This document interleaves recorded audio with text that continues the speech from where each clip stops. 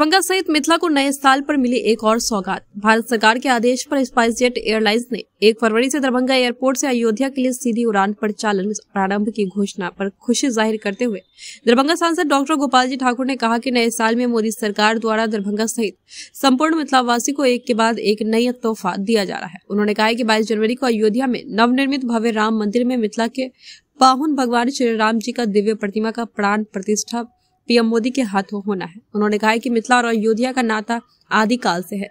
पूर्व में पीएम नरेंद्र मोदी जी और यूपी के सीएम योगी आदित्यनाथ जी द्वारा रामायण सर्किट हाउस के माध्यम से दरभंगा, सीतामढ़ी, अयोध्या को एनएच सड़कों से कनेक्टिविटी प्रदान किया जा चुका है। अब इस पावन मौके पर दरभंगा से अयोध्या का हवाई मार्ग से जुड़ना किसी बड़े सपने के पूरा होने जैसा है।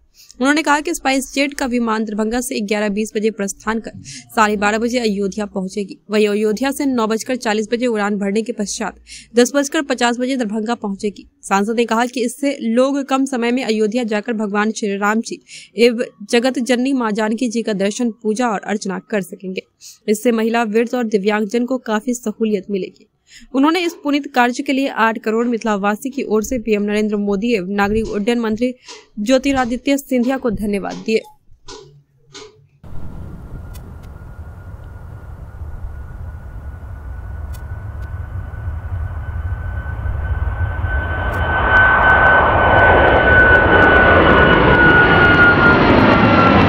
नफीसा हज व उमरा टूरिस्ट। गुजश्ता तेरह वर्षों से आजमीन हज व उमरा खिदमत में सरगर्म। अभी समिति Shivdhara Darbhanga eight four six double zero four Haji Abul Kalam mobile number नौ आठ तीन पाँच छ आठ छ पाँच तीन ज़ीरो नौ नौ तीन नौ सात नौ सात पाँच आठ छः city centre the complete multi brand men's wear showroom Subhash Chowk Darbhanga.